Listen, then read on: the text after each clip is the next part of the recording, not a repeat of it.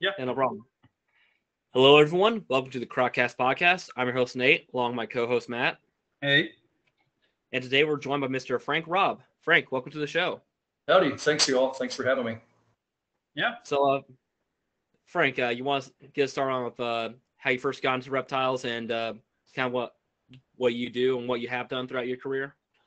Yeah, so uh, it was pretty early on. It was this or life in prison, and uh, you know the judge doesn't give you another chance. You kind of roll with what you have, and uh, in all seriousness, uh, I started catching uh, alligators with my uncle, who was uh, working for then Game and Fish uh, 27 years ago here in Florida as a as a freshman in high school, and uh, never imagined it to be a career. I kind of went with it from that point on, and whenever he retired in the early 2000s, uh, I, I, kept after it and kept going with uh, with FWC, and it's been involved in kind of every every kind of study you can possibly imagine with uh, with American alligators, uh, radio tracking, endocrinology, toxology, uh, you, you, name it. I've done a little bit all of it, and you know, been lucky enough now, blessed enough to be able to do that up in North Carolina, do that through my own nonprofit that I started, and do that down in Belize with American Crocs too. Uh, so that nonprofit, uh, that would be uh, EEARSS, right? Yes, sir. Yeah, that's uh, E-E-A-R-S-S.org. Yeah, and uh, you want to go over what uh, your nonprofit does? Yeah, so we do we do pretty much uh, endocrinology and toxology research here on the Space Coast with uh, American alligators around the whole uh, NASA area. We're about I live about five minutes off the Kennedy Space Center, so uh, yeah, I still catch I still catch alligators for them, for NASA, and for DoD. And uh, we've been doing research out there for quite a long time um, that has just kind of ended here recently. But uh, also do biodiversity research across, again, the Space Coast here where I'm at, where we look at different species, uh, you know, herps, uh, whatever it might be, traveling back and forth between different habitat types and allow the, the county to update their land management plans based on what they have. My, my everyday is pretty different is do you uh, does your research at all look into like how um, like the, the space centers and everything are affecting the crocodiles that live around there or is, or is it? Yeah so you know we use the american alligators as a sentinel species for human health.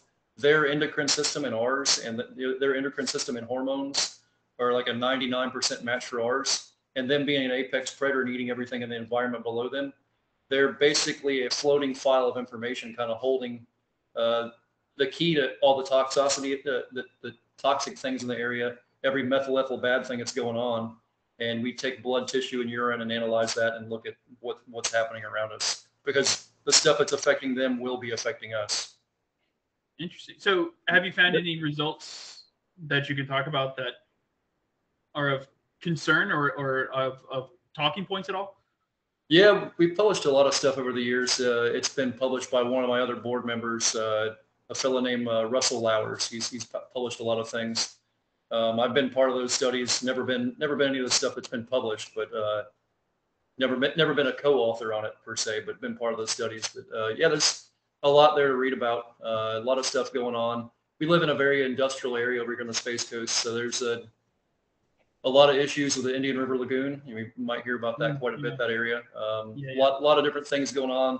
And we're dealing with uh, manatee deaths and uh, seagrass going away and a, a, lot of things happening.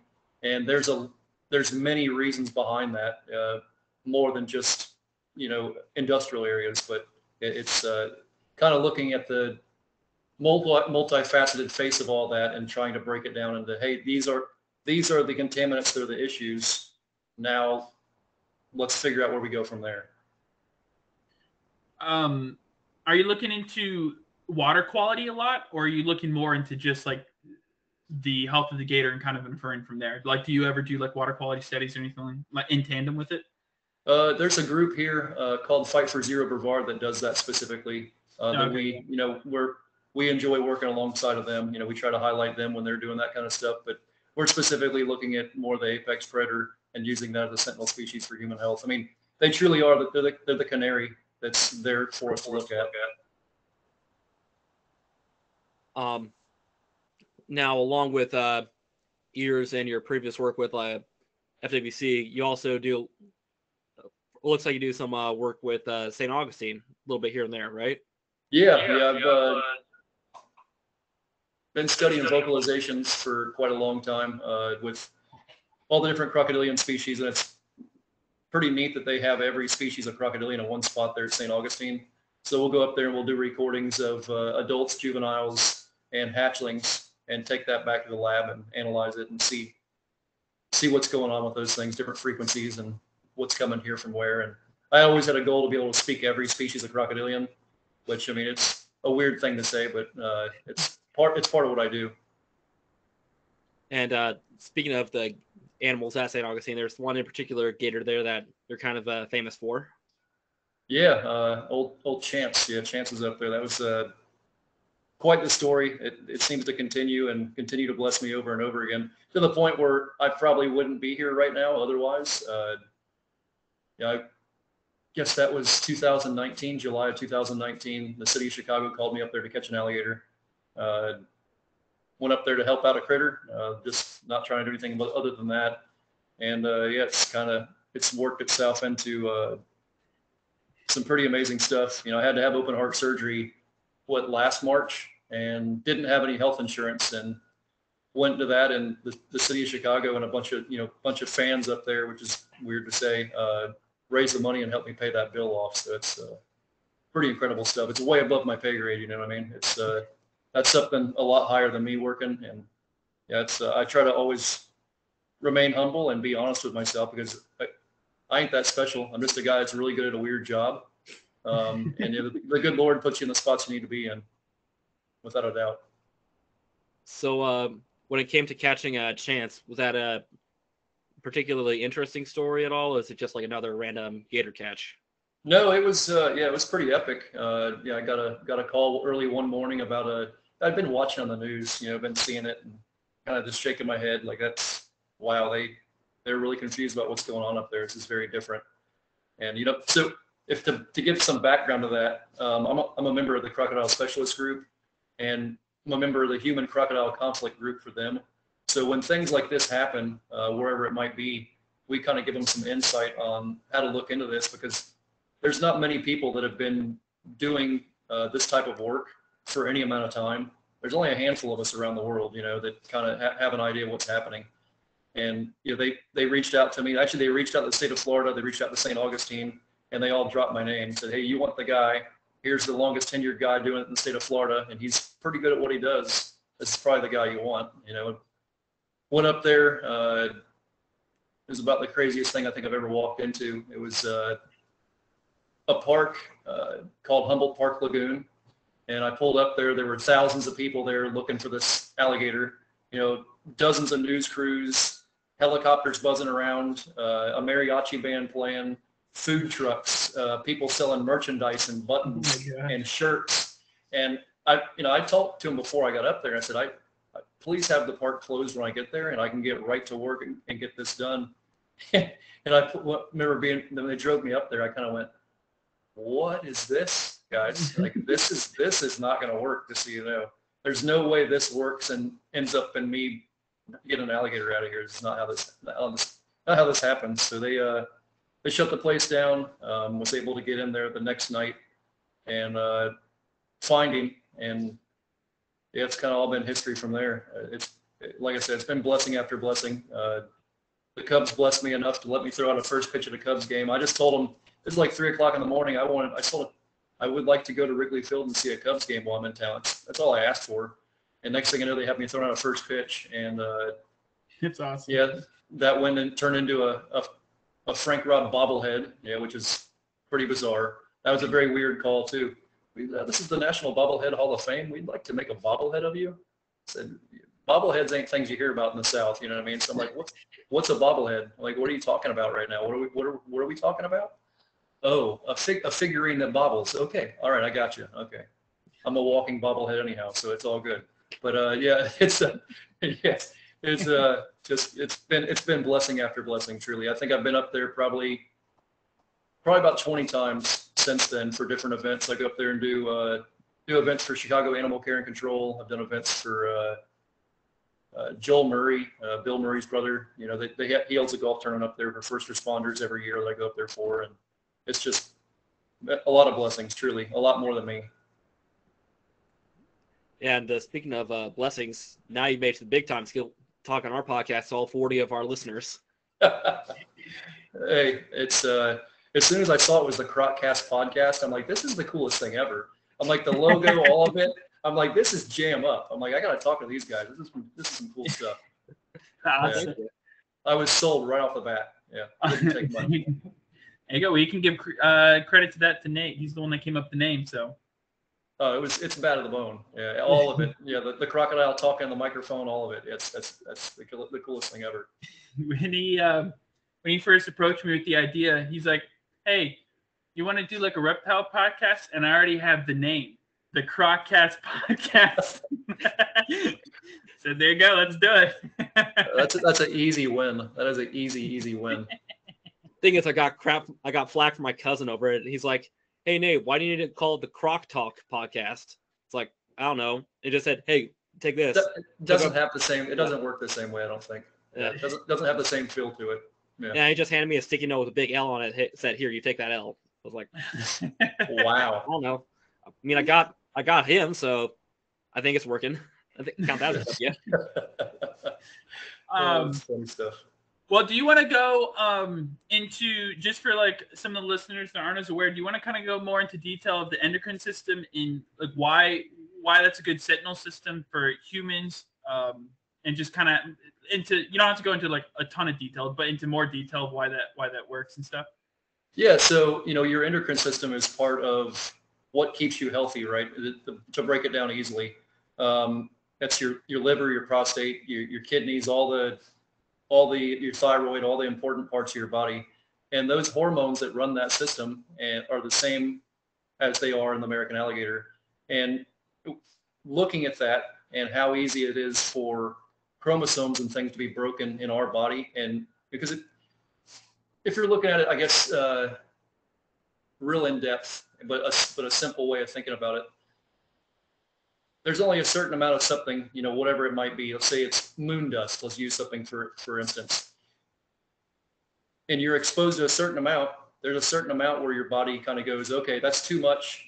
And a chromosome breaks or whatever it is might happen. There's a mutation and things change. In crocodilians, that takes a lot to get them there and they've got to the point where they can actually they can repair their own chromosomes. Some pretty crazy stuff. Um, so they don't really get cancer. They don't really get sick. When we're when we're looking at their endocrine system and these things, they can add up to a higher level in them than it would in us. So that's kind of I mean if that makes any sense at all, but uh, they're just they're the perfect species and we're seeing too uh, you know in crocodilians it's uh, temperature that determines sex Right. that is that is the case, you know, in in uh, in every instance, unless there's environmental contaminants, and then those environmental contaminants actually will determine sex over that. So there's all kinds of these outside factors we're looking at through the endocrine system that will be affecting us. Uh, it- there's just there's so many different pieces. There's so many different slices of that puzzle to look at. I mean, you I can go on for forever about it. How are the how how are the the contaminants changing the sex? Like, is it how's that how's that working? It's it's it's overriding the system. So it actually it grabs those hormones and changes them, and it takes Oh. they take control. Is that like similar, like an override. is that similar to um oh what is it um it, i don't think it's chytrid fungus but there's something in it's there's something in the water systems that will turn male frogs into female frogs is that is it at all similar I'm not sure. I haven't heard of that before. okay Yeah. um i saw that a long time ago when i was a kid so i, I don't I You don't talk about Jurassic Park. It No, is, I- yeah. I saw that on a documentary a long time ago when I was a kid. I thought that was interesting, but it, it made me think of that. So, um, Yeah, it's one of the arguments to you know what happened to the dinosaurs. Everything got warmer. Uh, sex all went a certain way. Well, that the same thing can happen with the contaminants. You know, contaminants can if they're de- determining sex of whatever the animal is, or if that got to the point where it was doing that with us, then you could have all females, all males. And that's the end of the that's the end of the species.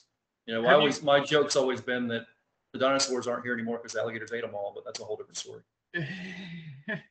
Have you found a good correlation um, or a consistent correlation between like X number of specific contaminant in alligator and then when you start to see that effects in human populations?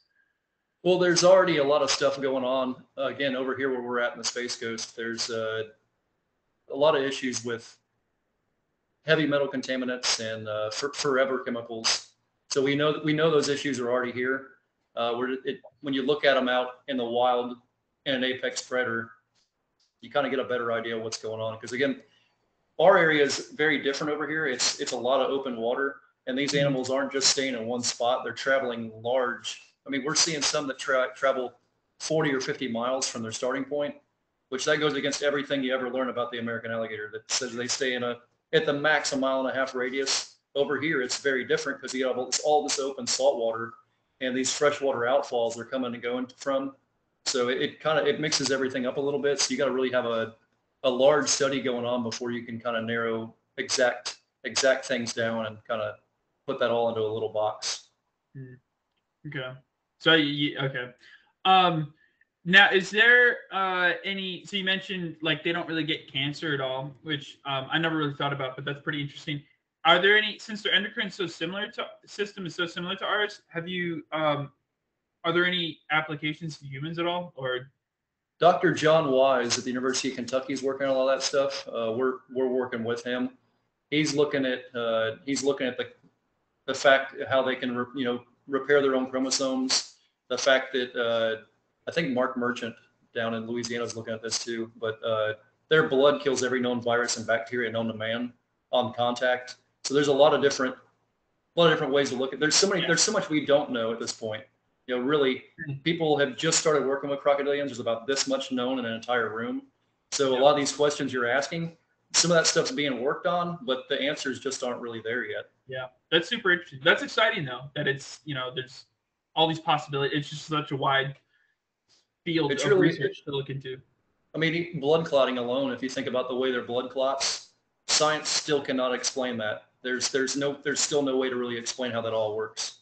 I mean, it just even the the things that you think would have answers to, like you know the vocalization studies, these things have never. There's a couple species like the black caiman and uh, the American alligator and the the American crocodile have been recorded, but the rest of them never even been recorded before. It's something that nobody else is even working on. how um how long or what, what's like the max duration a gator could be in salt water before it It so it, it does take a huge toll on their body. Uh, traditionally, what we see down down here, they'll go out into the salt water over over the, the course of a day. They'll go out there and they'll fish and they'll hunt, and then they, they'll go back. they'll fish uh, and hunt in the salt water Oh yeah, they love sharks. They love horseshoe crabs. They love stingrays. They'll find Wow. big schools of mullet and they'll go hit the big schools of mullet and fish out fish them. Uh, I've never heard of that. redfish. Super interesting Oh yeah, they're they're they're great at fishing. You see, we see them on the beach quite a bit too. Um, it's pretty I cool to watch that. alligator surf. Yeah, it's pre- pretty neat. But yeah, th- usually a, usually a day or two, and they have to be able to get back to that fresh water to drink a bunch and purge it all out. It does it it really does tax their system. That's one of, one of the one of the huge things they deal with down here.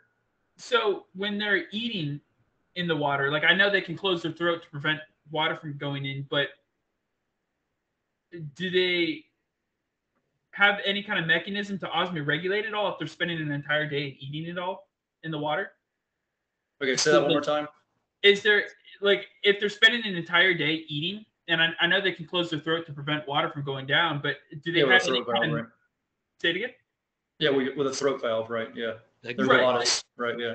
do they have do they have um any way they can osmoregulate it all like because that seems pretty impressive to not be able to osmoregulate but be able to spend an entire day eating in the salt water Yeah, they just they hang out there, and the, the way they the way they have around that is they have these culverts or freshwater outfalls and ponds, and as soon as they get done doing what they do, because again, other crocodilians have those salt excretion glands, they don't. Right.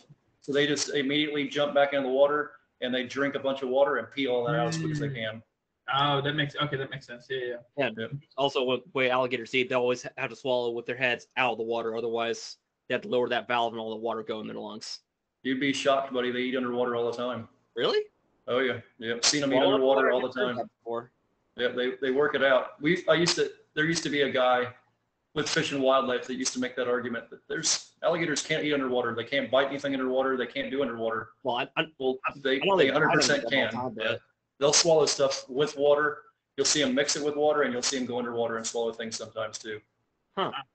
Yeah. It, every time, literally every time I think I know what's going on and I know a little bit, I see something like that and I go, okay, I've never seen that before. That's something new. Uh, write that down in the book somewhere. You know what I mean? That's that's pretty bizarre. Well, I was actually going to talk about this at the end, but it kind of relates to this, and I, I think this is pretty interesting. Um, so I I do kayak tours out in this brack. It's brackish water, but it's really really it's really salty. It's right next to the Gulf, and um, um, and I was out with a tour and I found a Burmese python, and we ended up, it was like a three foot Burmese python. We ended up taking out super super docile, but I was super surprised. I like because the I, the ma- it's a mangrove estuary and there's no um they completely flood at high tide. So there's the only mammals that are out there are raccoons. So like there's there's nothing really it could feed on. There's not really any fresh water out there. So I, I was like super surprised it was out there. My guess it was probably dehydrated because it didn't really move at all um, when i grabbed it kind of like squirmed a little bit but it didn't really move at all when i grabbed it. So i don't know if it was dehydrated or just super docile one but anyways i thought that was super interesting that i found a, a burmese python just out in like super salty water so but You know, like I said, every time you think you've seen it all, you know what I mean, or you've seen a little bit, something like that throws you a curveball, and you realize, okay, I really don't know that much. You know, we're uh, we're constantly picking it up, and again, you're going to put that in the back of your brain and kind of go, okay, I've seen that before. That's weird, but I'm gonna, I'm going to remember that for next time. I told I told my people I said yeah there, there's no fences in nature anything could be any but the it was funny because it was actually people that were renting um, for a different company that saw it and came back and told me and another guy who's big into herpetology and we told them no you probably didn't see a Burmese python we're like nah that's and then they showed us a picture of it and we're like holy cow it is a Burmese python so we went out there and grabbed it but um, and gave it to Yes. And stuff but That's an interesting talk. That alone with the whole uh, exotic and invasive species thing. yeah It was it was ba- all this stuff was bound to happen with the pet trades and you know people moving back and forth and going places. These, these things are here to stay. Uh, people need to get used to it because it, it ain't changing. You know, I mean, up right here where we're at, we have veiled chameleons and uh, knight anoles, and I mean, you you name the animal, it's uh, they're they're they're everywhere now. Uh, They're- and they're not going anywhere. Coast? Oh yeah, I In large. Number. large numbers. Yeah, every time. Well, every time you hear about the the veiled chameleons, you always hear Fort Myers and um, like Miami. Like so. Yep, those are the those are the ones they have uh, what on iNaturalist and stuff. You know, what I mean that they've that they've Yeah. posted places, but they're they're all over the place. Um, interesting.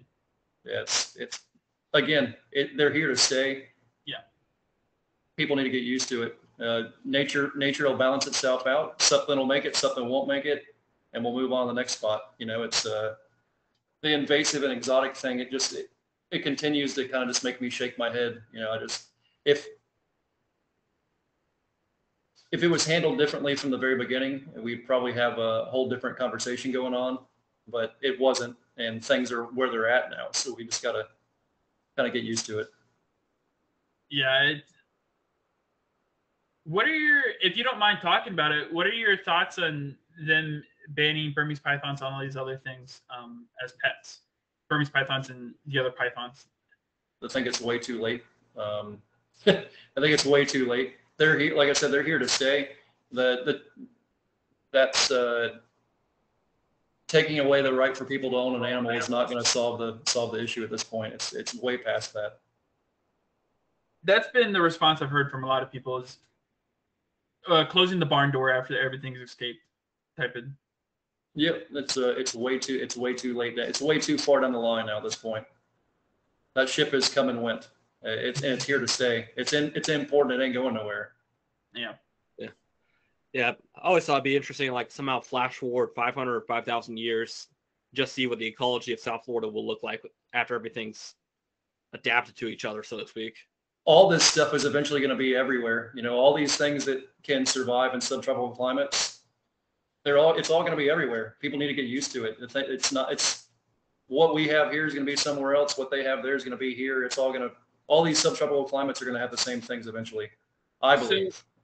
I heard this one guy recently. I've never heard this argument said before, and I heard him say this, and I thought it was super interesting. So I'm curious what your thoughts are.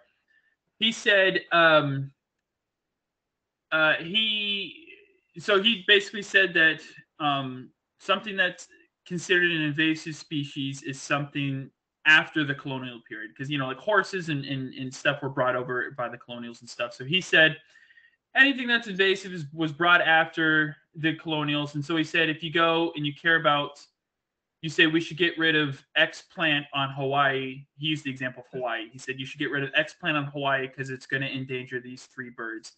And he said, well, you can. His words were, you can. That's fine. You can care about those three birds, but there's no scientific argument as to why you should care about those birds over the invasive plant. You just care about those birds more. And he said that's fine, but you have to admit that you it, the only reason is because you care about those birds more. Because he said everything can go anywhere at any time, and things have been all of it. Basically, kind of what you said is basically everything can almost be anywhere at any time. Anyways, things are always moving around. Like nothing's in its original spot. So I, my, the issue I normally have is the issue with the term invasive and the term exotic. Uh. These things, just because they're an exotic animal doesn't make them invasive, uh, but somehow that always goes hand in hand. Uh, it, it just, it all gets very confused. And really, if they're here and they have a, a population that is uh, enthralled in an area that is, that is there and not going anywhere, they're no longer an exotic.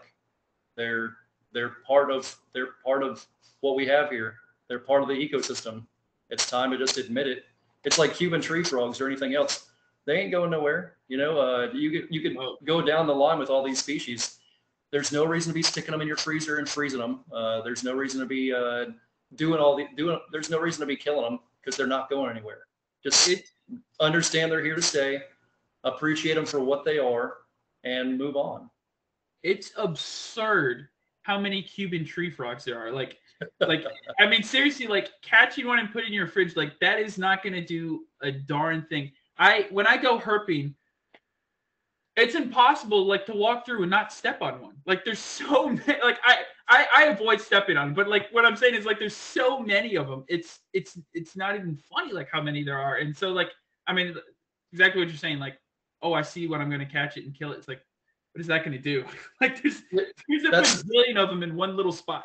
And that seems to be the answer for a lot of these different groups with these exotic species. And again, they're they're here. They have populations that are here that obviously aren't going anywhere. Yeah. It's time to it's time to find another answer. Learn learn to deal with it, or you know understand maybe something positive they're bringing to the to the ecosystem as well. And instead of looking at the negative side of it, find out what they can do for you and and move on. You know. It's kind of like grass carp. How those are considered, they're not considered invasive. They're considered non-native because they're Right. good. They control plant populations in the in the canals. So it's it's whoever's terminology they want to use. You know, I mean, exotic, Yeah, yeah. invasive, uh, non-native. It is what it is. yeah, yeah, it's that it, it rubs my fur the wrong direction. You know, what I mean, it just it. I was having this conversation with uh, my uncle, the guy I learned the trade from, and George Van Horn over at the Serpentarium in St. Cloud. It runs Reptile World Serpentarium. Yeah. And George has a very George is a legend. You know, he learned from Bill Haast to the Miami Serpentarium. Uh, that's where he got his start. Uh, another legend of the world. Uh, Mhm. George is a dear a dear friend of ours, and he had a a very inter- interesting take on it that wasn't really any different from what you were comparing the guy to the, the Hawaii story from. It's like they're they're here, they're not going anywhere. Stop using the term invasive and exotic, and understand they're they're here, and, Yeah. and they're not going. They're they're not. It's not going to change. interesting. Yeah.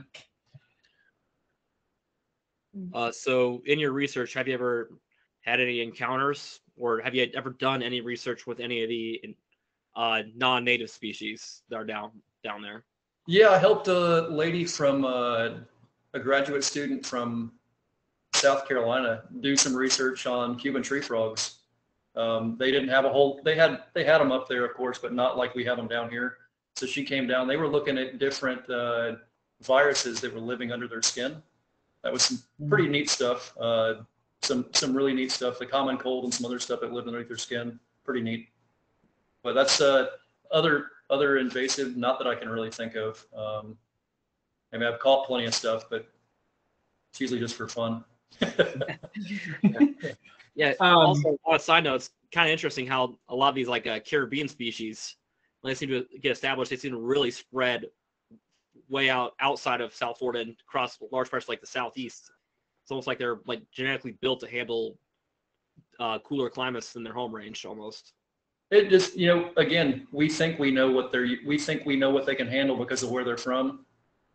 It- It's like the Veils, you know, the Veils are, they're north of Orlando now. They're, they're, they're up there. That's insane to. Uh, But think about where they're from. They're a desert animal, right? I mean, they're used to, they're used to cold nights. They can find a little subtropical climate somewhere, a little, you know, little, uh, warm spot within all the cool spots. They're set. Yeah. And once those things make it to an area, you're not getting rid of them either. And uh, I mean, what are they doing wrong? Eating besides eating their body weight in insects? Who cares? right? Yeah. yeah. Maybe, I mean, so, I shouldn't say who cares. The person who loves butterflies probably cares. Yeah. And I and I respect your butterflies, but uh, they're they're I don't know. It is what it is. That's what annoys me the most, though, about the whole invasive, exotic, non-native thing, is I don't want to say the word hypocrisy, but like just how they care about the the flashier things. They care about the Burmese pythons, but they don't care about you know the feral cats or you know or, or My biggest issue with it is my biggest issue of all the issues is when you have a lot of these exotics, people are going out in the wild and catching them and taking them and selling them back to pet stores. Yeah. The whole problem started at the freaking pet store. So why are we allowing people to take them and put them back in the pet store again?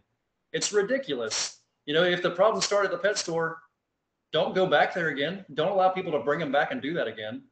I mean, either you leave them where they're at, or you know, you I don't know. The whole thing's just silly. There's so, there's so many problems with the whole the whole concept. But again, I'm not the I'm not the expert. I'm just a guy that likes alligators. I'm the I'm the crocodilian biologist. I shouldn't be talking about things that are above my pay grade. yeah, yeah. I'm allowed to have an opinion, and that's definitely that's definitely my opinion. When people are going out and catching these things, catching tokay geckos or whatever it might be, and taking them and reselling them back to a pet store, you shouldn't have caught it in the first place. You know why? Why? It happens a lot with the chameleons. That's It does. super. That's the whole That's reason right. the chameleons are there. People purposely establish them for farming. Yeah. They're basically It seems to be that them. way. Yeah, it's very sad. Such They a get- such a cool critter. I live over in, in Fort Myers, and Okay. um, LaBelle, you know, LaBelle's right across from there. And from all the things that I've seen and stuff, they said if you go, apparently LaBelle has a few, a lot of veiled chameleons, but if you go over there, you're likely to get shot looking for them. So they're A lot of people don't care for you shining flashlights toward their house. Yeah, it's, uh, most people don't care a whole lot for that. yeah, they're like, yeah, they're like LaBelle has the is the best spot to look for them down here, but it's the least safe place to look for them. That's crazy. Yeah. That's crazy. Uh, so you also recently started up. Well, I don't know how recently, but you started uh, your own podcast, the EEARSS Podcast. You want to Indeed. Go into that and talk about that a bit? Yeah, so uh, I started a, a podcast with a local high school, actually a high school I went to, uh, as a way for the kids to be part of producing a live show. Uh, you know, they do all the sound editing and the video editing and kind of produce the whole thing. And uh, I bring in different, try to bring in different people, uh, groups or organizations that are making a difference around the world, not, you know, not just here in our community. But we've had some, we've had some fun ones too. We had uh, Frank Schwindel from the Cubs plays first base for the Cubs. We've had uh, George Wendt on here recently, Norm from Cheers, and uh, you know some national talk show hosts. And it's been been a lot of blessings. Just uh, trying to help these kids, you know, with their their next step, whatever that might be, and kind of give them some focus and something fun for the local community as well. S- so what got what got you interested in the whole endocrine system of of uh, alligators and stuff? Like, what what got you into that aspect of alligators? that was all my my uh, my buddy Russ. That was his. That's his baby that was out there on the Space Center. Um, that was actually started by him and a, a, a Dr. Lou Guillette back in the day. And when I first met, the, I was actually at a place uh, over on Merritt Island off the Kennedy Space Center, and I was catching this big 10 foot alligator in a parking lot. And when I'm catching him, I'm looking at his his uh, scutes in the back of his neck, his bucklers, and there's zip ties going through his scutes, and I'm going, well, what is going on here? Um, something interesting's happening here. Somebody apparently is working with alligators around here that I I don't know about, and I, I need to find out what's going on. And that was one they had a transmitter on uh, previously. You know, I reached out to U.S. Fish and Wildlife there on the on the Merritt Island National Wildlife Refuge, and they hooked me up with uh, you know them that, that were doing that research, and we've kind of been buddies ever since. That's that's how my interest started. Uh, awesome. Lou Guillette was Lou Guillette and Russ both were uh, there. Lou's passed. Um, he that was uh, Russ's mentor, but the guy was like a uh, he was he was a teacher, you know, at, at, at University of Florida and at uh, University of South Carolina. And if you were around the guy, you couldn't help but to learn things. He was one of those guys that was consistently always teaching, and uh, that's that's where my interest started. And I went back to school at that point and got my biomedical degree, and all to be able to look further into this kind of stuff and, and go somewhere with it. That's awesome. Have you done any work with the crocs down in the East Coast? American crocs? Uh, no, I've caught I've caught one up here. Actually, we had the furthest north one ever to be spotted. Um, I caught up here at the Cocoa Beach Pier. It was in, in a surf at the pier. Uh, that was pretty neat. That was 2009, I want to say. Um, but you know, down in South Florida, I haven't. I plan on getting down there probably late July and uh, doing some work with the guys down there. That's the, that's the plan as of right now. We haven't put a date in motion, but I'll be down there in, in late July. It looks like but I, you know, we do do that. We do the same research in Belize with uh, uh, Dr. Tellez. oh, that's right. Yeah, yeah, yeah. So yeah, so what what um is your work down in Belize pretty much the same stuff you're doing over there? Is it over here or is it a little different? Yeah, it's exactly the same. Well, they do some extra stuff too. Heck, Marissa does all kinds of stuff. You should have her on your podcast. Uh, You- she you've done it does. twice. Oh, have you? Marissa's Yeah. one of my best buddies. Uh, she went to Chicago with me time before last uh, up there. She's a she's an absolute blast, a, a dear friend and a, a great lady and a flippin' genius. Uh, really, the woman's brain is so big it's terrifying. But if watching her work, hanging out with her and watching her work is truly inspiring. Yeah, the lady does, does everything at once. It seems like. But uh, yeah, it's uh, she does she does she does everything down there. Yeah, like like Matt said, we had her on twice. First time we are you know talking about her uh, the CRC and all the work we do doing she does down there. Uh, but then later, like a few months later, I realized, oh crap, we forgot to talk about her big thing with parasites, so we had to have her back on to talk about Oh yeah. parasite research, which was pretty fun. She she starts getting to parasites and you kind of go, wow, uh, there's so much information here.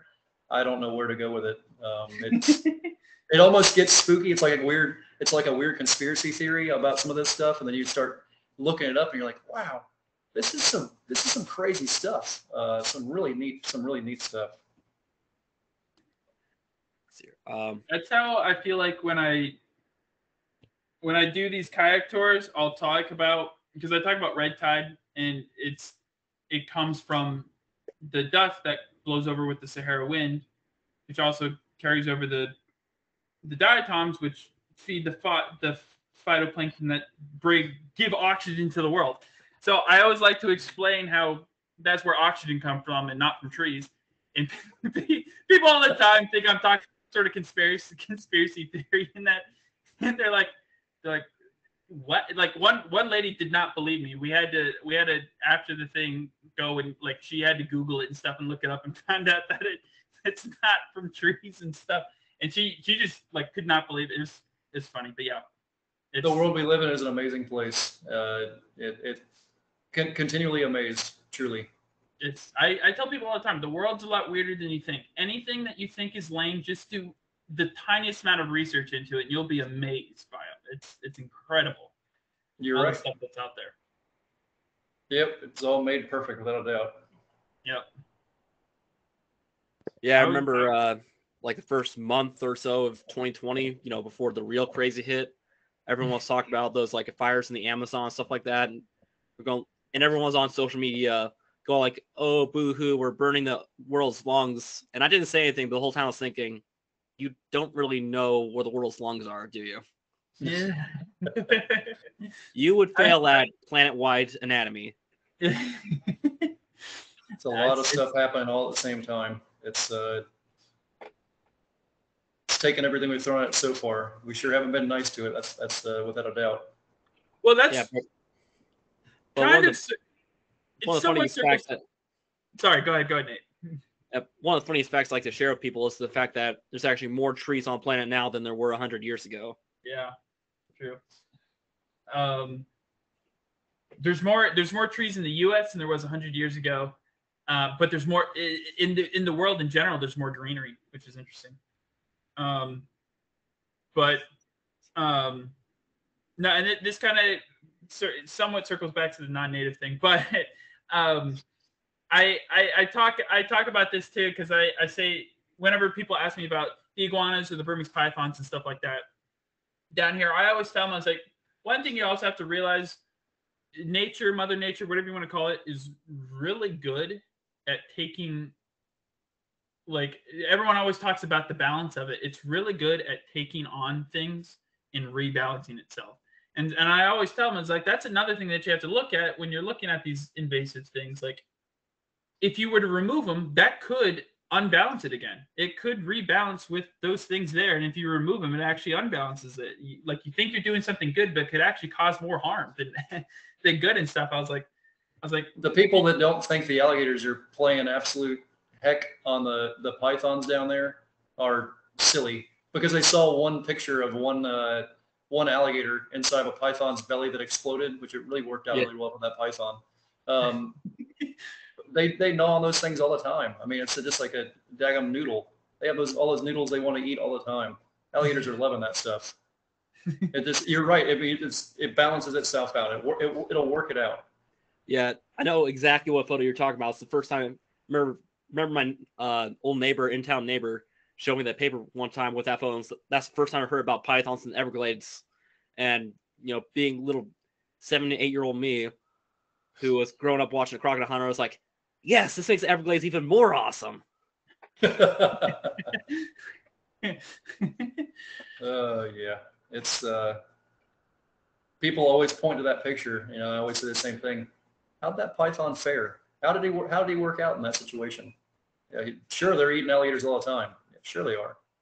Sure they are. Well, the USGS just came out with the first official footage of uh, bobcats preying on on Burmese python eggs. But it's that's something that's been rumored for a while that they've been doing. But that was the first time they've officially like seen it happen, which was pretty interesting. They What I up thought- sea turtles' nests on the beach. Yeah. Bobcats do. They're thought- slick. They're slick. Yeah, what I thought was the super interesting part, and goes to the slick part. I thought was super cool is that it. I don't know if you've seen the video or not, but it it goes kind of somewhat entangles, messes with the mom that's sitting there. I think they said it was like a 200 or 250 pound python, is what the the USGS said. But then it the the bobcat leaves and waits for the mother to leave, and then comes back and digs up the eggs and eat it. It's insane. It's so cool. Animals are so smart. Uh, I, I- I think it's it would really spook people out if they knew how smart animals actually were. They, Yeah. they know what's going on. They know a lot better what's going on than we do. For sure. Yeah. And, and cats are cats are a whole different level anyhow. I think sometimes they try to get themselves in bad situations just to see how they can work it out. Just to show off. Cats are Pretty wild much. cats are awesome. Domestic cats, eh, not so much. I've seen those goofy videos you see of cats whacking alligators at alligator farms because those are those are farm gators that are usually that's happening to. I've seen that happen in the wild one time, um, and it's not uncommon. Whenever we would go on calls, uh, nuisance nuisance alligator calls, to go to a neighborhood, there'd be an alligator laying on somebody's front porch or in their driveway, and every neighborhood cat be hanging out with them like they're old buddies. It's the weirdest thing you ever seen. I don't know, understand what they're talking about or like they're old friends and they're all talking about, hey, I catch rats, you catch rats, we all catch rats. I don't know, but there's some kind of weird mix there between uh, between alligators, uh, crocodilians, and, and cats. I'm not sure what it is though. So maybe the, the bobcat got paid off. That's where I'm getting- Maybe they had something worked out later on. You know what I mean? yeah, yeah, yeah. Gator Mafia. The Gators are kind of like the mob in the in the Everglades, and they're you know, Bob the, the Bobcats are their muscle. There's some deeper plan there somewhere. I'm sure. Um, Yeah. I don't know what it might be, but yeah, That's they're slicking up funny. they're up to figure it out. I'm pretty sure. pretty funny. Um, the so what what are your thoughts? This is well off topic of Gators, but kind of on topic of topic of what we've been talking about. But are do your are your thoughts on like the iguanas any different from like the Burmese pythons? Because the iguanas are more they don't really cause much problems. They're more of a nuisance to people. They make a te- they make a terrible mess. yeah. I was gonna say That's usually more- the, that's usually the argument, and they eat they might eat your hibiscus flowers. That's Right. Really bad. They're really bad about that. Again, they're here to stay. They- They have these. There's some. there- I've been seeing these. I saw something on YouTube where there's a guy going out in people's neighborhoods with an air rifle and his dog and shooting shooting iguanas. I don't know why in the world you would ever put something like that on YouTube or why people would think that was entertaining or you know they just wh- why do it in the first place? I don't know. Again, the worst thing they're going to do is eat some of your flowers uh, and maybe poop on your pool deck. Um, they're Same thing as a bird. Yeah, they're not going to eat your kids. You know, they're not going to eat your pets. They're uh, that's what I never it, it doesn't make any sense to me. that's what I never understood about like the, how the FWC always encourages people to take your air rifle and shoot the iguanas. Like, what are they? What are they doing other than like? I know everyone because I work down in Marco Island. Everyone in Marco Island hates them because they they dig up around their seawall. But it's like, I think you're putting like- more people in danger than you are fixing problems in that point. But again, um, that's just my two cents. Doesn't mean it's right or wrong. That's just my two cents. that and I saw a lady uh, somewhere in Miami have a a water an Asian water monitor walk up to her back porch and she was like terrified and stuff. I was like, man, I would have been the happiest I've ever been in my entire life. And if I had an Asian water monitor, and it was huge too, just walk up to my back porch. I was just Yeah, Open, neat. open the door and be like, come in, come in, come in. That is pretty neat. Yeah, I, again, I'm not the I'm not the iguana expert. I'm not the invasive species expert. I'm allowed to have an opinion. My opinion will probably very very much differ from most, but I just I think there's better things to worry about. I always say worry about taxes or terrorism or worry about something important. You know what I mean? If you're Yeah. if you're worrying about a, a an iguana and your tree in your yard, you really don't have that many problems. So to kind of circle back onto more on topic of gators and stuff, um, what do you have a theory as to why they are so like well adapted for like it's like just talk i didn't like i I- i've always known they were like really well adapted like predators and stuff but just talking to so many people on this thing of like just internally like how your their endocrine system their um immune system all this kind of stuff like how they're so well adapted to take on so much stuff and be able to survive they've been around for a long time for a reason. I mean, there is nothing better at survival than than them. I mean, I, I think it all breaks down to the way their brains built. You know what I mean? They it they are absolutely genius, uh, genius level animals. I've seen them solve problems. I've seen them seen them work through things and and really think about it. Their biggest downfall kind of becomes that smarts. Uh, their their biggest downfall is us and their ability to see an easy way to take it, take an easy way out on, uh, on eating stuff and being fed. It only takes one or two times for them to watch you feeding the fish or feeding the turtles or throwing some bread to something. And they go, okay, um, that man, I don't got to work for a living anymore. I got this going for me. That is the only downfall that, that species has for them is literally their ability to take the easy way out. Uh, we, we would refer to them as a bum when they do that. Like they're just going and taking taking the five bucks from you and going and buying a sandwich, never having to do anything for it. You know, it's nothing against homeless people by any means. I'm just saying that they'll take the e- they'll take the easy way. You know what I mean? Yeah. If they No, if they I- can find an easy way to do it, they'll do it. And that's really for them. They're conserving they're conserving energy. They're conserving body mass, uh, and they're doing things the smart way by doing that. So their their intelligence is their biggest downfall. It truly is.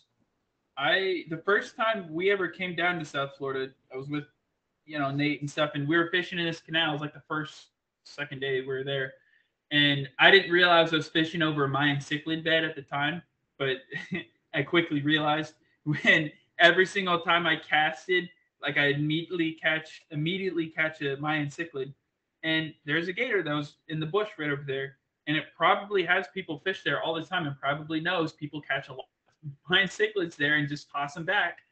And so, sure enough, as I'm, I keep pulling in these things, he comes right up, like just a few inches from me, but he just sat there and just waited for me to toss these fish back, and then he eat them and stuff. Had no Yes. interest in me. He knew like that I was going to be throwing the fish back. It was three meals. Fishermen are a huge downfall to them for the same reason you said there too. It's bycatch, leaving things around, leaving bait left over, whether that be shrimp or whatever it might be on the banks. Uh, it's being sloppy, making a point when you catch the fish uh, to if you're putting them back in the same area and the fish is weak, that's easy prey. Again, it's it's their intelligence. They're taking the easy way. Um, fishing is is a huge part of the issue with uh, friendly alligators, without a doubt. And some things need to be some things need to really be changed with that. But again, what can you change? I mean, I, I don't. I don't know. I don't have the answers with that. I just know that is 100% one of the issues.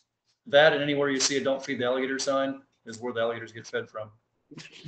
Yeah, that's the reason that sign's there.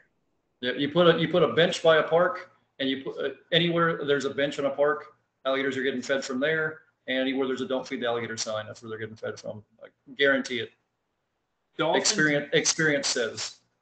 Dolphins do the same exact thing. They will follow fishermen around, wait for you to tire out the fish, toss back, eat it. I've even seen a dolphin come steal a like a prize snook off someone's hook as he's reeling it in, and then swim up to the boat with the snook in its mouth. Show and went and ran and swim up to every boat, showing the snook in their mouth, like ha ha ha, I stole your fish, and then swim away and ate it. Like went around to every boat and showed that it caught the it took the fish. It's insane. When I was a when I was a kid, we had uh, dolphins here in the Indian River Lagoon that had Navy stamps on them. They were stamp Department of the Navy, uh, and these jokers they would they were just like you were saying. They'd want to they come to your boat, they start doing flips and doing tricks, waiting for you to feed them fish, and of course everybody fed them. Uh, they were Yeah. they were the same thing. They were pet, your pet trick dolphin that follow you around. Pretty weird stuff, but again, another another very slick off slick very slick animal. I had no one believes me when I say this, but I swear I was fishing and I saw a dolphin do that little like flipper thing, like you see in TV shows. Like I even Yeah. had like the first time I worked for the kayak thing that I do, like the, the guy said like when dol you see the dolphins do that in shows, they don't do that in nature. That's only in shows. I told him afterwards, I was like, I swear I saw it in nature. I saw I was fishing and I look over and I see a dolphin do the little thing. It blew my mind because I thought I, I too thought they, they didn't didn't didn't do it in nature. I thought it was only a show thing that they did, but These Navy ones used to do that. You'd be go, you'd be on a plane going in the middle of the channel, and they'd be standing up watching you go by like a person. Yeah, just stuff just like that. I mean, it was spooky. Like it was that. It, there was the there's the Navy dolphin. There he is. They had a whole little crew of them. Yeah, pretty neat. Yeah. You, you never know what those guys have been through or what they've been around. You, you don't know. It's you can Yeah. never you can never say never with wildlife. You, as soon as you do it, you're immediately wrong. You're immediately going to be you're going to be immediately be proven wrong without a doubt. but I, I compare a lot uh, alligators to the dolphins because they're both so intelligent. But I like to compare the intelligence part, but the fact that like dolphins are really easy, like their behavior is really easy to interpret, like what they want and stuff, and kind of kind of what they're thinking, which is pretty cool. And gators are so much more subtle. I feel like unless you like you spend like your entire life with them, like they're there's they're a lot more subtle than like any any idiot that's never really dealt with dolphins a lot of times can understand what a dolphin's like thinking or doing but like a gator unless you've worked with them for a long time they're a lot harder to tell but they're both super intelligent animals so i, I like to Uh, compare so you, you can you can tell me if I'm right or wrong, but I'm pretty sure they have the same cerebral cortex, the dolphin and alligator. I- I'm, I'm pretty, pretty certain. I could be wrong. Yeah, I think you're right. I, I'm not 100 percent sure neither, but I Yeah, think you're right. uh, crocodilians, I think, are the only extant group of reptiles that have a cerebral cortex. Yeah, I'm pretty sure them and the, them and the, uh, dolphins have the, pretty much the exact same brain setup.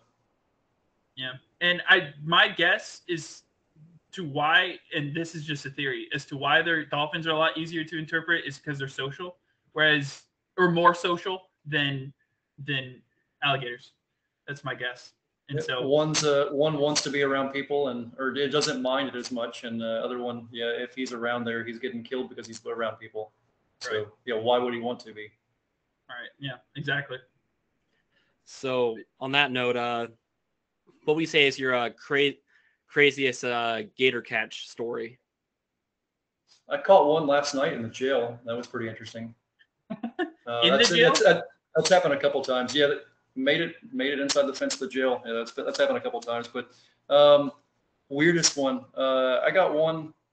I caught them out of people's houses. I had one, I had like a nine and a half, ten footer in a lady's house uh, last year. They called it into the, the police department as a four to five footer, and she had Yeah. went out and take a smoke, and it was like three o'clock in the morning, and left her door open. Her yard was flooded. This big gator walked in there. It her she was a hoarder, so it walked in her house. and walked through the living room through this little tunnel, down the hallway into her bedroom, and up on top of her armoire. Literally, it walked up things and got on top of this big dresser. And I walk in there and I said, Godzilla is in your house, and I have no idea how we're gonna get out of here without emptying your entire mm-hmm. house out. So we had literally had to take everything out of the house, make a path, go in there, catch the animal, and move him out. But um, I've caught them in the bottom of the bottom of missile silos. Uh, I've caught them in the vehicle assembly building at NASA. I catch them on the, on the launch pads quite often. Uh, caught them underneath all the different. Caught them underneath pretty pretty much every rocket you can think of on the 45th Space Wing uh, or at NASA, underneath different atlases, underneath the shuttles. Yeah, all, all kinds of weird stuff. It's amazing. I've always wondered what goes through their mind, like when they find when they end up somewhere, like especially like in a house, for instance. Like, what made you go there? Because it's not always where you would expect them to necessarily go, based on what you know. Like, like From what we see over here, there, there's usually two reasons they're walking. Um, people always argue, well, it's mating season. They're moving because it's mating season. It's warm and they move. Okay. But for the most part, over here where we're at, they're moving because they've lost a combat.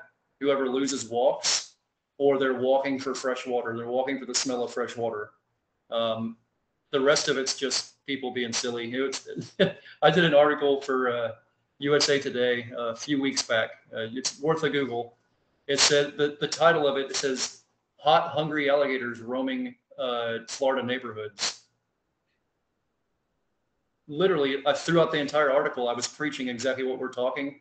They're they're not they're not walking around with murder on their mind. If they were, there'd be there'd be nobody left in Florida. Okay, right. they're move they're moving from one spot to the other. We have to understand they're the last thing they want to do is run across us as they're doing that. They don't want to have that interaction. If they get turned around, just give them a little bit. You know, give back off for a while. Don't stay 20 feet away. Back off 40 yards. Watch what they're doing and, and let them move on.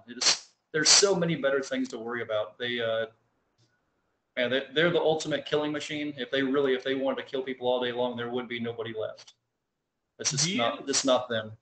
Yeah, but uh, going back to that gator in the armoire, um, I didn't experience this first. I didn't experience this firsthand, but uh, the one one of the gator parks I interned at in uh, East Texas, they do a lot of uh, nuisance gator removals. So that's where a lot of their gators come from, or uh, nuisances. Okay. That is one really big one. They call him Big Tex, and he was he's 13 foot, like eight and a half inches, something like that. So you know, pretty big boy. Well, where their place is at is really low elevation, so whenever a hurricane comes through, it floods. So they wanted to get him out of the property, so they one like escape when the whole property is underwater. So they, they had these uh trailers, and they had this one trailer that was like back half was cargo, the front half had like a, a small bedroom in it, you know, like queen queen size bed. They put in the back half of that, took up to one of the owner's houses because it was higher elevation. He comes out the next day to check on him. He looks in the back, doesn't see him in there, but he sees the door to the bedroom's busted open. So he walks up, peeks inside the the bed, peeks inside the bedroom, and there's this 13 foot alligator just laying there there on top of that queen size bed. Yeah, I'll I'll send you a picture after the show of it. It's, That sounds pretty crazy. Yeah. So that place you worked at was that is that Brian Henley's place? no. You- uh, you- do you do you uh, know do you know Brian Henley? He's uh, he's at a he's at an alligator. He him and his I think it's his family runs an alligator place there in Texas somewhere. uh, no, it's a place called uh, Gator Country. Oh, okay, I got you. But um, um, where where that's at is like very far east in the East Texas. It's like Okay, uh, outside, just outside uh, Beaumont, basically. I got you. Okay, I think he's somewhere on the border, somewhere down there closer to the border. Yeah, yeah. That'd be a, considering it's Texas, that's a pretty far ways away. Yeah, that's, that's a very large place. Very um, large place. No, but I, I find it interesting. Like sometimes I'll take out like my lizards and stuff and let them just like in kind of a controlled environment, but just kind of like let them explore in like my living room and stuff. And it, it's funny because I mean, obviously they immediately kind of like you know get their bearings. Kind of like you can tell them kind of figuring out what's what's where am I at, what's going on. You know, they're licking, they're exploring and stuff, or they're smelling, flicking their tongue out, and um, it's funny though because you always like I'll expect them to go somewhere. I'd be like, okay, they're gonna go. They're next to the couch. They're gonna they're gonna try and go under the couch because it's, it's small, dark, warm, you know, and stuff. And they'll let go somewhere else, like somewhere you wouldn't expect. And you kind of and you you'll grab and like turn them around, and they'll immediately go back there. And you kind of turn around. You'll even move them farther away, and you'll like immediate. It's it's so I, I've always I don't know. That's something I've always wanted to uh, be able to understand what they're thinking. Like, what are they seeing and understanding that I'm not? You know, I'm like when I did copperhead research, I saw a copperhead. We the whole what part of the thing was studying why they're eating cicadas, and I saw one slither right up to a cicada, smell it and stuff like its tongue out, and then just slither away right away, and then it went and ate a cicada later. Like there's something about it that it could see that we couldn't understand. It's so cool. Yep, it's pretty neat stuff. Like I was saying, every time we think we know what's going on, we realize we don't know what's going on. Yeah, It- that's. I think that's why I'm more of a lizard guy. Is I feel like I can. Like gators are like I like I feel like I- can see a lizard thinking more like than crocodiles are pretty good to it like seeing and understanding that they're thinking. Um, but I don't know. For lizards are my favorite, and I just I just like seeing them like trying to figure out what they're doing and like seeing them thinking and, and figuring out what's going on and stuff. It's so cool. Alligators 100% think about things. Yeah, A I've, hundred uh, yeah, I, that's one of my things is watching them and understanding what they're thinking and why they're thinking it. It, it, yeah, it's a beautiful thing. It's, it's all what you're good at. You know what I mean? We all have our, uh, our blessings and our things, and that's what makes us all special. Yeah. What makes them special too, really. Right. Yeah. Exactly. Do you so, get? Go. Ahead. so you mentioned uh, you do work with uh, the IUCN uh, Crocodilian Board. You want to talk about uh, what you do with them at all, or? Uh, yeah, so I've been on that board. Um, I think the last CSG meeting I made was Argentina in 2018. Um, yeah, been on the Human Crocodile Conflict Board for them. Uh, it's run by a fellow named Simon Simon Poole. Uh, yeah, we kind of just try to put together different plans. Uh, recently wrote up a kind of nation worldwide set of uh, standards for capture, transport, and uh, release of crocodilians, stuff like that. Uh, just some some simple stuff. Do you? Um. So obviously you get like you'll get like calls of when a gator's in someone's house, but do you get a lot of calls of people like? There's a gator in my canal. Can you remove it? Uh, Like, yeah, when I, yeah. when I was doing the, when I was doing the work, yeah, that's a, a big portion of it. Um, unfortunately, is people seeing an animal and not knowing what to be afraid of or what to worry about or what not to worry about, and they put that on the person going out there. They put that on the trapper to go out there and not necessarily talk to that person, but explain to them what to be worried about or what not to be worried about. I'm not doing the work anymore. Um, Mm.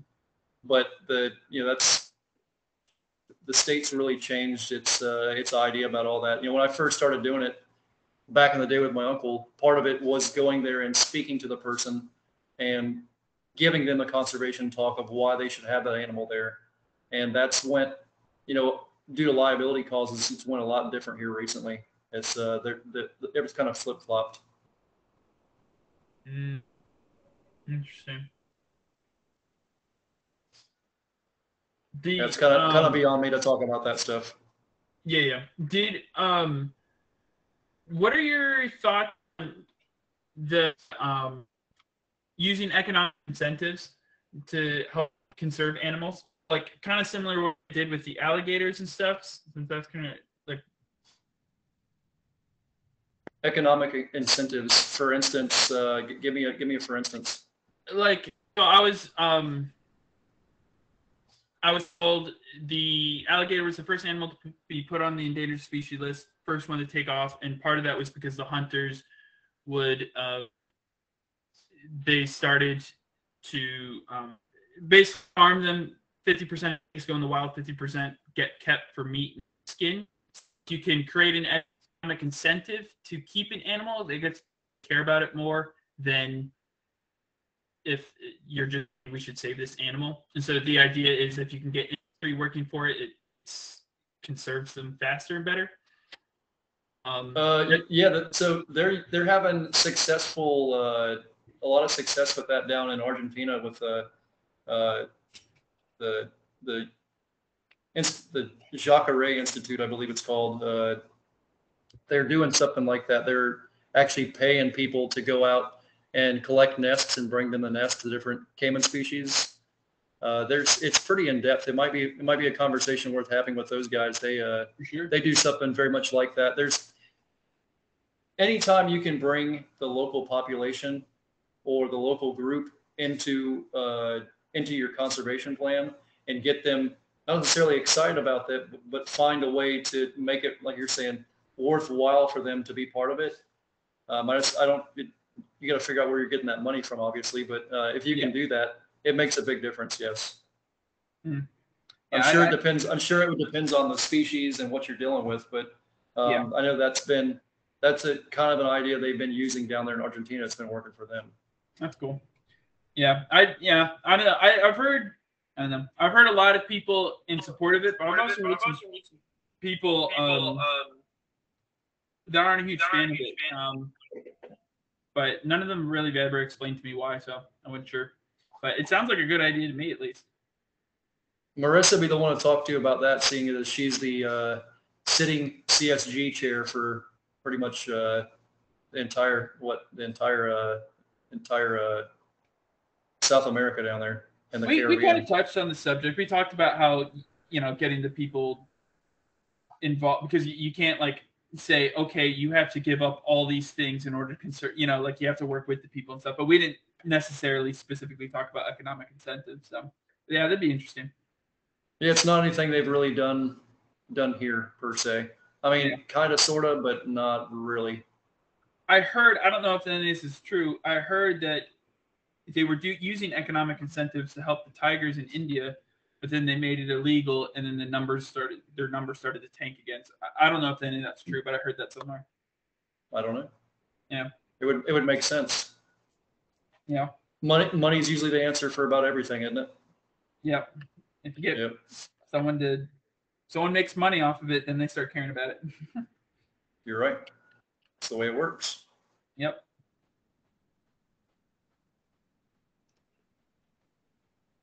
Uh, well, Matt, do you have any other questions? Um, no, I think, um, I think that's it for me. Uh, It was great chatting with you guys. Yeah, it was a good pleasure. chat Yeah, it was some uh, we covered some pretty cool stuff. for sure. Yeah, absolutely. All right. Well, uh, thank you for coming on. It was an honor, guys. Really, thank you all for having me. Yeah, thank you pleasure. for coming on. Thank you, guys. Mhm.